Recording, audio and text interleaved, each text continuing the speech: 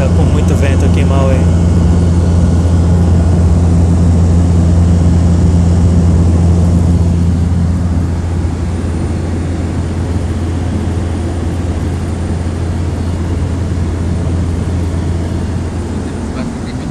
Cuando, vayamos a bajar no estés grabando.